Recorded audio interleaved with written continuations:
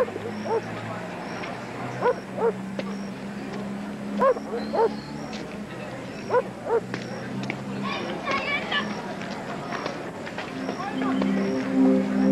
noite, Zé Maria. Boa noite, Macari. Um momento.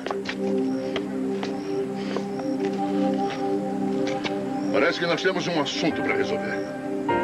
Assunto que assunto? Eu não tenho nada para tratar com você. Pelo jeito, parece que a sua memória não é das melhores. Nós temos umas coisinhas para acertar. E a mais importante se chama Regina Vila Real. Me diz uma coisa. O que é que você quer com ela? Isso não é da sua conta. Tudo que diz respeito à dona Regina é da minha conta. Portanto, eu vou te avisar numa boa. Não chegue mais perto dela. Com licença, mas eu não estou afim de ouvir suas ameaças. Nem está querendo saber quem é o seu verdadeiro pai?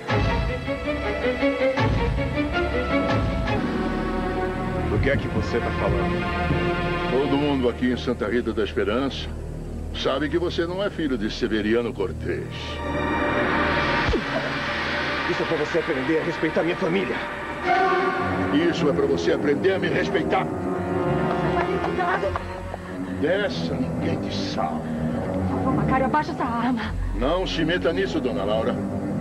Sabe, Cláudia, não se preocupe. Ele não vai ter coragem de atirar em mim.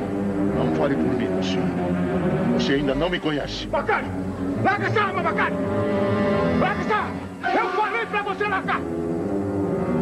Você sabe, aqui não é lugar pra esse tipo de briga. Você tá se comportando como um animal. Onde você pensa que está? Quem procura, acha. Eu não quero mais te ver aprontando aqui na porta da minha igreja. Vai, some daqui, some!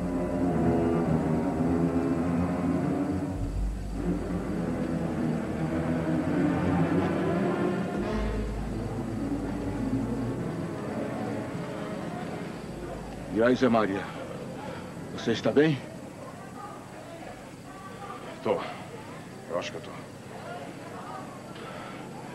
Eu acho melhor vocês irem para casa. Porque o Macário pode voltar. Obrigado, padre.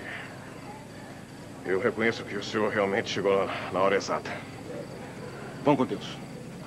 Vamos.